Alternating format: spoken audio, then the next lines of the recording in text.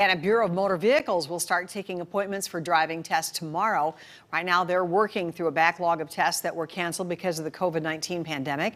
Driving tests will be offered at certain branches starting tomorrow and across the state by next Friday.